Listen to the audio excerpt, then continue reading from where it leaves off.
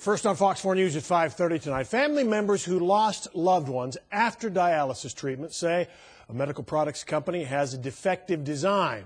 They're suing. Accusations are flying, and the FDA has even pulled one of the products after seeing secret internal memos. Fox 4 Shaun Rabb has our story. I mean, it's just like it was yesterday. Lorena Caraway still mourns her mother, Georgia Williams, who died in 2008, dying from acute vascular bleeding following dialysis. My mother had been uh, going to dialysis actually for three years. Caraway has joined others, Uh, close to 40. represented locally by attorney Justin Martin, in a multi jurisdictional lawsuit against Fresenius Medical Care and its GranuFlo and NaturaLyte dialysis products. it causes a high level of bar- bicarbonate uh, levels. Basically, what's happening is because of the mixture, uh, people are suffering sudden cardiac events. After dialysis treatment, she went into cardiac arrest. Christine Clay's 23 year old daughter, Carisha Anderson, had been on dialysis since 2009. She died in 2011, eight hours after a dialysis treatment. It's been real hard.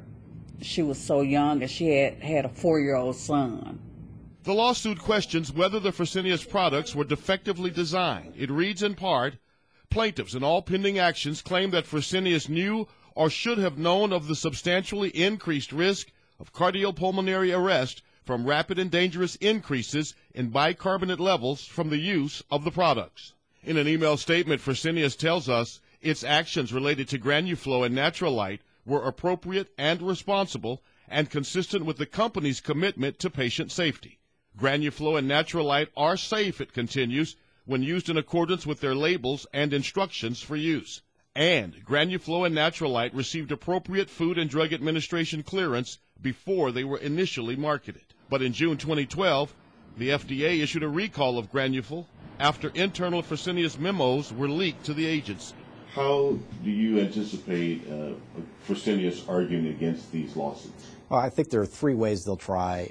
Attorney David Walsh defends medical providers in his practice and is not representing anyone in the lawsuit. FDA approving it would be one defense. A second defense would be uh, kind of individually looking at the plaintiff's individualized conditions and trying to say that the drug didn't cause it because these are dialysis patients, which are very sick to begin with. And then the third way is uh, to blame the doctor or the healthcare providers because uh, the FDA recall uh, mentions that it was given at inappropriate doses. But this is not a, a, a chemistry problem. This is a problem with a corporation that knew of this mixture and they knew the, the potential risks that it was causing. They knew that there were deaths associated with it. All right, Shaun Rabb in studio talk a little more.